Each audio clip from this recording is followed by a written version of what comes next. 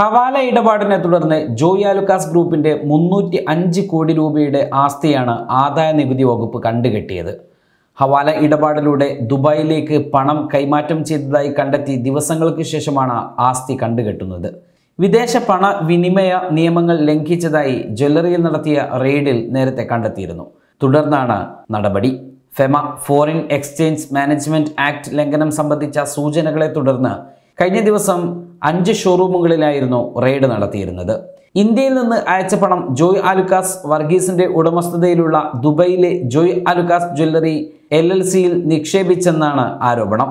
തൃശൂർ ശോഭ സിറ്റിയിലെ എൺപത്തി ഒന്ന് കോടി അൻപത്തിനാല് ലക്ഷം രൂപയുടെ താമസ കെട്ടിടം മൂന്ന് ബാങ്ക് അക്കൗണ്ടുകളിലെ തുക എന്നിവയും കണ്ടുകെട്ടിയവയിൽ ഉൾപ്പെടുന്നു.